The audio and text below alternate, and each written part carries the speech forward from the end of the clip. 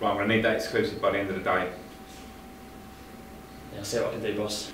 Okay? Alright.